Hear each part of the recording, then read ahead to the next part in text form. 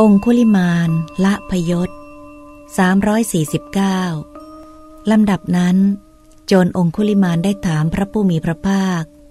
ด้วยคาถาว่า สมณะท่านกำลังเดินไป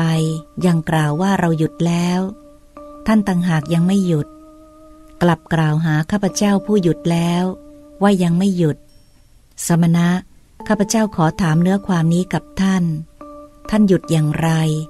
ข้าพเจ้าไม่หยุดอย่างไร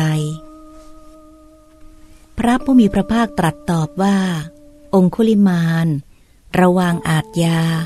ในสรรพสัตว์ได้แล้ว จึงชื่อว่าหยุดแล้วตลอดการ ส่วนท่านไม่สำรวมในสัตว์ทั้งหลาย เพราะฉะนั้นเราจึงชื่อว่าหยุดแล้ว ส่วนท่านสิ ชื่อว่ายังไม่หยุดจรองคุลิมานกล่าวว่า สมณะ นานจริงหนอท่านผู้ที่เทวดาและมนุษย์บูชาแล้ว ผู้สแสวงหาคุณอันยิ่งใหญ่ เสด็จมาถึงป่าใหญ่เพื่ออนุเคราะห์ข้าพระองค์ ข้าพระองค์นั้นจะละการทำบาป เพราะฟังคาถาอันประกอบด้วยธรรมของพระองค์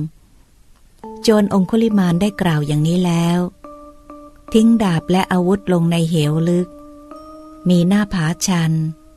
โจรองคุลิมานได้ถวายอภิวาทพระบาท ทั้งสองของพระสุคต แล้วทูลขอบรรพชากับพระสุคตณที่นั้นเอง พระพุทธเจ้าทรงประกอบด้วยพระกรุณา ทรงแสวงหาคุณอันยิ่งใหญ่ เป็นศาสดาของโลก พร้อมทั้งเทวโลก